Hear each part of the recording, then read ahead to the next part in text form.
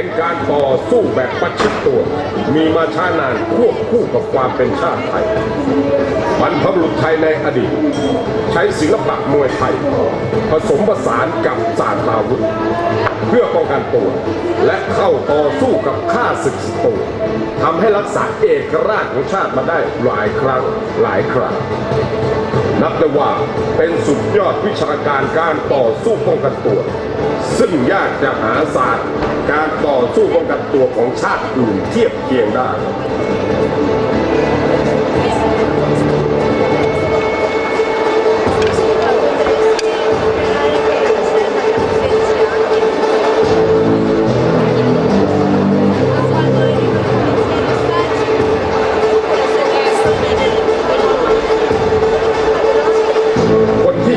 การฝึกฝนเป็นนักมวยไทย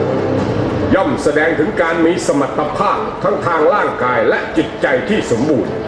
มีความแข็งแกร่ง กล้าหาญมีนิสัยรักการต่อสู้ที่มีวินัย มีความเป็นลูกผู้ชาย มีน้ำใจนักกีฬามีความสุขุม รักศิลปะที่สุนทรี มีครู มีความกตัญญูกตเวที แสดงออกถึงความเคารพอย่างเคร่งครัด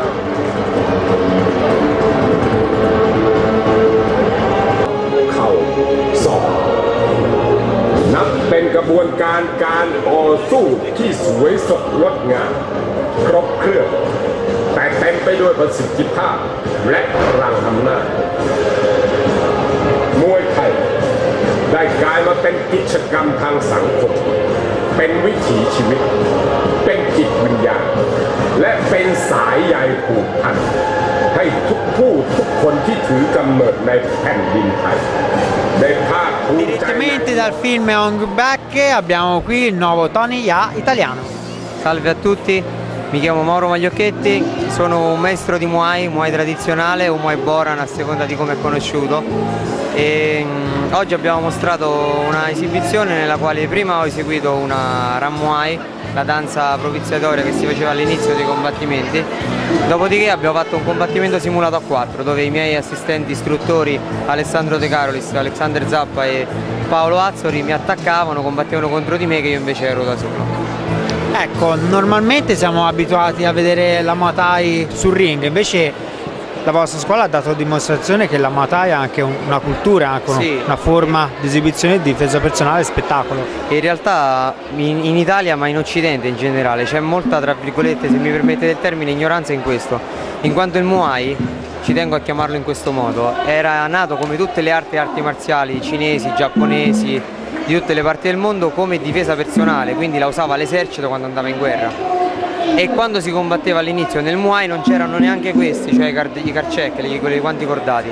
Dopodiché, una volta che quella diciamo, esigenza di guerra, di combatti di,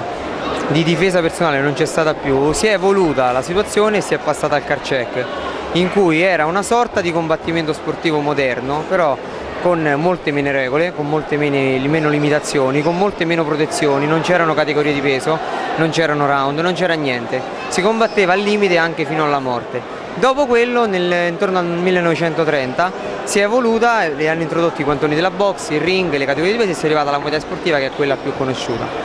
Noi, Dove avete la vostra scuola? noi abbiamo la scuola a Frosinone, la Maluma SD.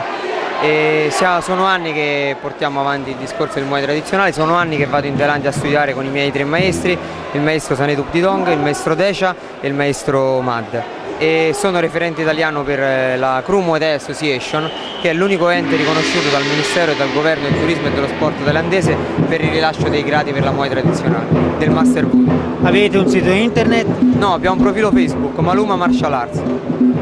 Ok, qui dal Festival dell'Oriente è tutto.